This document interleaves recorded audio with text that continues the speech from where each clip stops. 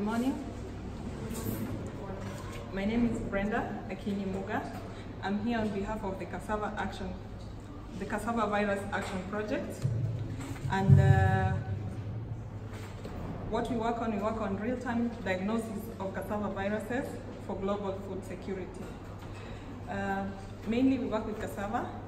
Cassava is an important crop. It's a staple food to over 8 million people in sub-Saharan Africa.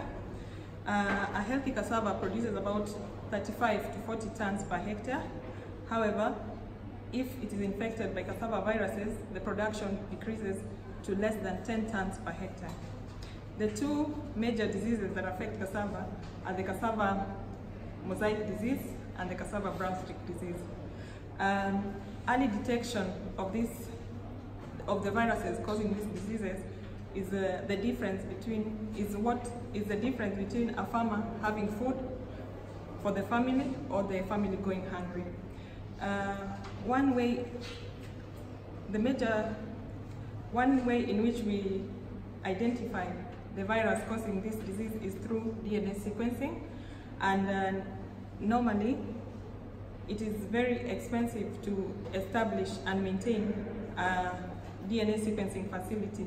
So most labs in, in Africa prefer to outsource this service and uh, this normally takes three, three months or more and this is a time that the farmer does not have. So uh, a team of technologists and scientists set out to develop a DNA sequencing protocol that is accurate, rapid, affordable, and uh, that this will allow them to advise farmers of early infection and uh, uh, provide, and uh, once they, they advise the farmer, they can get clean planting materials uh, so that they can get better yields. Uh, to do this, uh, the sorry.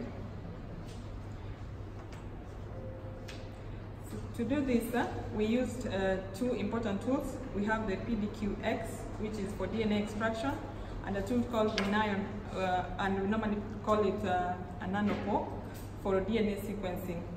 With these tools, we were able to diagnose the viruses in less than four hours, reducing that time from three months. And we did this under a tree in, in the farmer's field without electricity. We visited four farmers.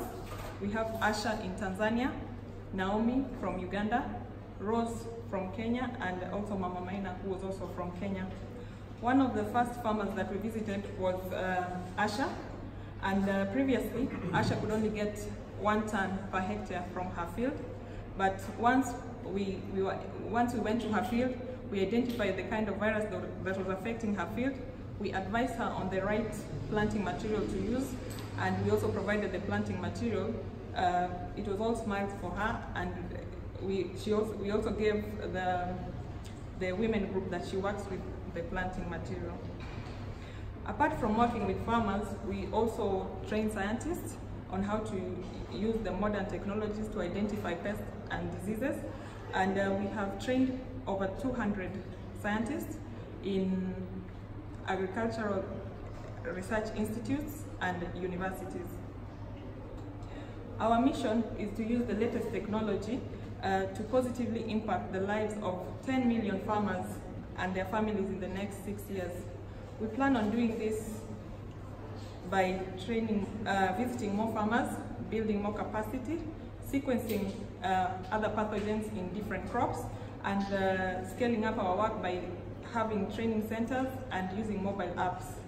And we also hope to have more resources for the farmers, like clean planting material, so that they can get uh, better yields. Uh, we, we do this through teamwork and collaboration with other partners.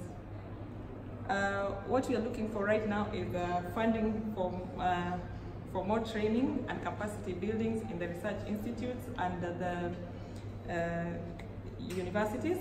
And we also hope to get funding for infrastructure to set up the, the mobile phone app. And uh, we also want to get more clean planting materials for the farmers um, and uh, so that they can be more food secure. And we also want to have uh, partnerships with research and educational institutes to set up training centers.